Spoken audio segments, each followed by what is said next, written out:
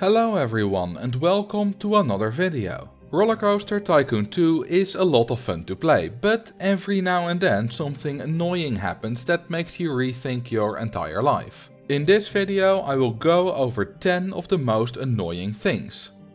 Number 1. Look mom, I can fly.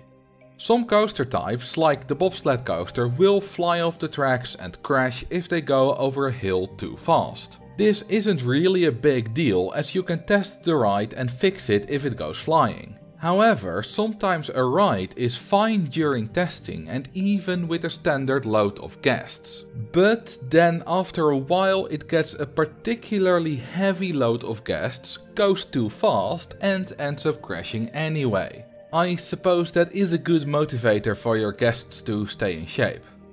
Number 2. Vomit Slip and Slide. You've just built a great wild mouse coaster that is drawing in the guests and will make you a lot of money. After you have admired your work you go do something on the other side of the park, until you see your park rating has absolutely plummeted. You come back to the wild mouse and find vomit absolutely everywhere and for some reason your handyman just decided to take a nap or something instead of cleaning it up like they're supposed to. Number 3. It's a trap. Speaking of the park rating plummeting to depths never achieved before, sometimes you look around and there seems to be no reason at all for the terrible park rating. That is, until you finally see it. You've accidentally trapped a lot of guests somewhere and it's killing your rating. Even worse, when you finally release them from their suffering, they will most likely want to leave the park and go home. Number 4. So close!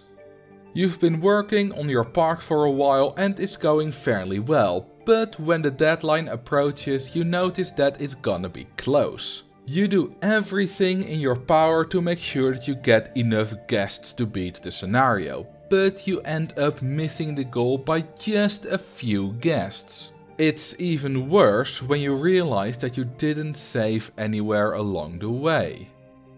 Number 5. I'm not paying that much. You've just built an awesome coaster that guests for some reason want to pay 10 bucks for to ride it, making you a lot of money. After a while you check back in on the coaster and notice that for some reason it has an empty queue line. You check the guests' thoughts and find out that they don't want to pay that much anymore because the ride has aged a bit and the coaster has been sending out empty trains for quite some time already. Number 6. Get off my lawn! Sometimes you've built a ride and it just doesn't fit the park anymore or you want to replace it with a different ride. After you've demolished the ride there is still some path left behind that you also need to remove. The problem is that guests and staff keep walking onto the path and if you demolish it with them on it they'll become lost on the grass because they have the brain the size of a peanut and can't see the path right next to them.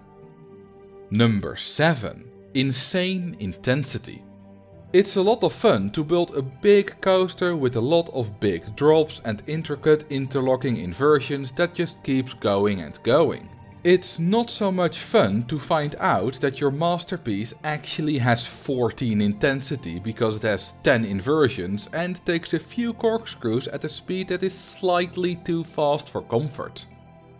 Number 8. Shut up and take my money. Parks where you charge for the rides are great because you make a lot of money. But if you don't have the ATM available it can be seriously annoying.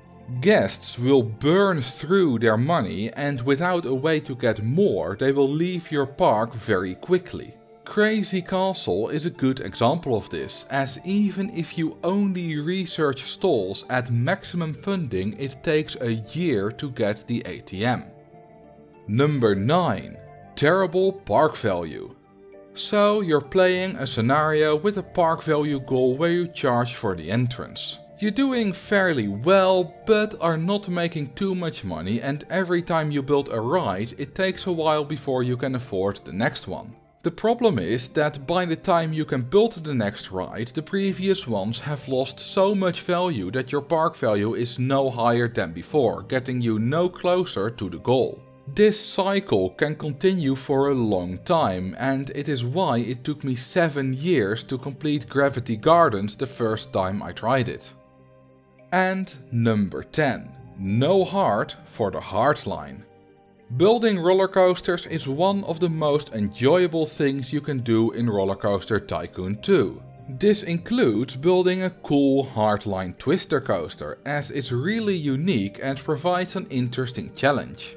However, when the stats come back they're always incredibly disappointing. Seriously, more than 9 intensity and less than 4 excitement for this design? You gotta be kidding me. And that were all 10 annoying things in this video. Let me know in the comments which one is the worst and which ones I forgot. Of course these things are an integral part of the game and overcoming them is quite satisfying, but at the time that they happen they can be super frustrating. If you liked this video consider giving it a like. You can also subscribe or follow me on Twitch. Thank you all for watching and I will see you in the next video.